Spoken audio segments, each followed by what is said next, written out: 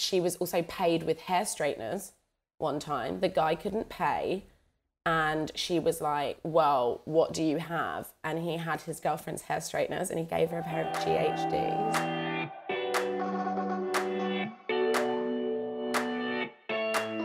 What did you want to do and create with Sasha?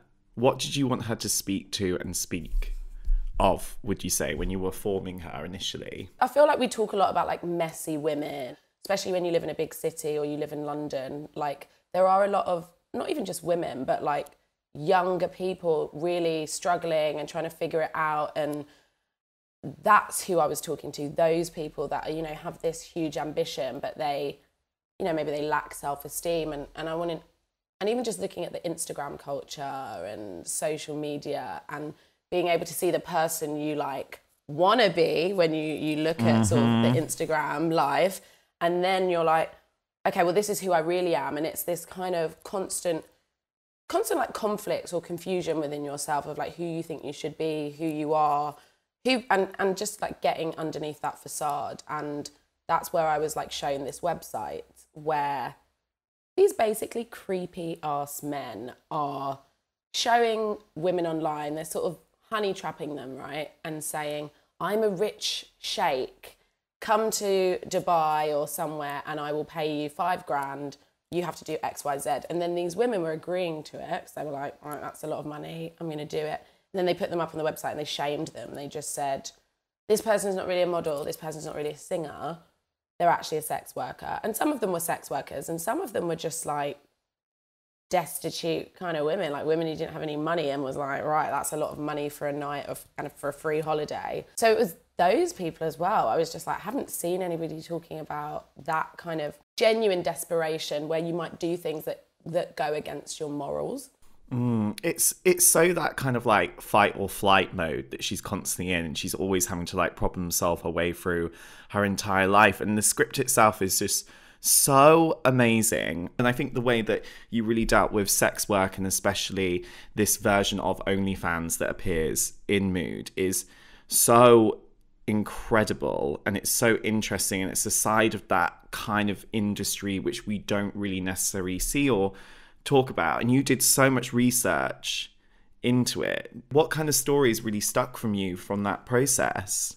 One story that really stuck out to me was this Um, 18 year old who I met that basically her her friend had been kind of kicked out and of home.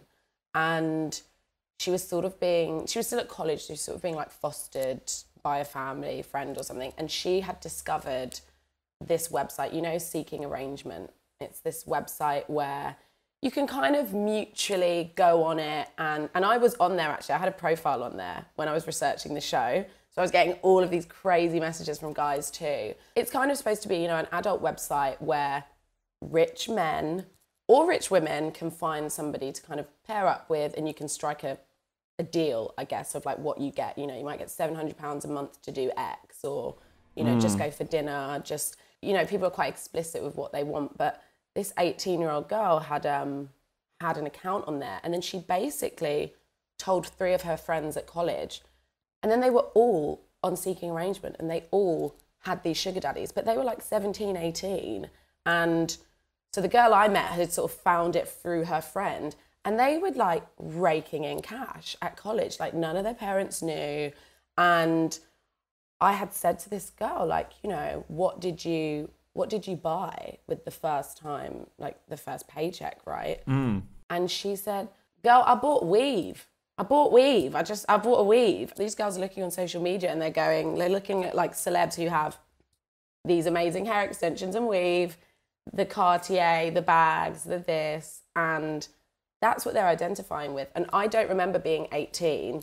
And obviously, I didn't have Instagram at the time. And seeing things like that and feeling that real pressure of like material wealth. You know, I don't remember feeling mm. like I had to be rich at 18 and have everything figured out to show everybody I was rich. So, really strange. I know she was also paid with hair straighteners one time. The guy couldn't pay. And she was like, Well, what do you have? And he had his girlfriend's hair straighteners and he gave her a pair of GHDs. How bad is that? I know it's funny. It shouldn't be funny, but it is bad. It is It's bad. it's bad. What did you see when you set up your own profile on it? What kind of like Mm. messages and stuff you getting? Because that must have been wild to like actually step yourself into that world.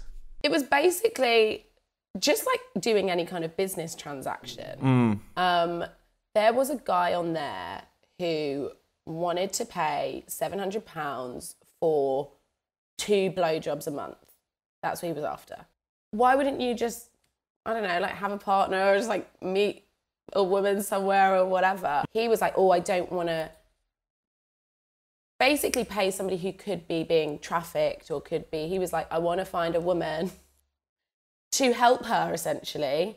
And then she can pay her rent. I can get what I need, but I don't have to have any kind of emotional connection. We'll just meet in a hotel. That is all I want. I don't really want a conversation. I just essentially want head.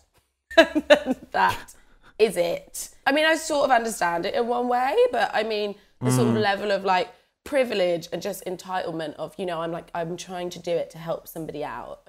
I thought, hmm, I mean, you could just give somebody £700, couldn't you? That, you, know, Yeah, and you could. leave it up to them.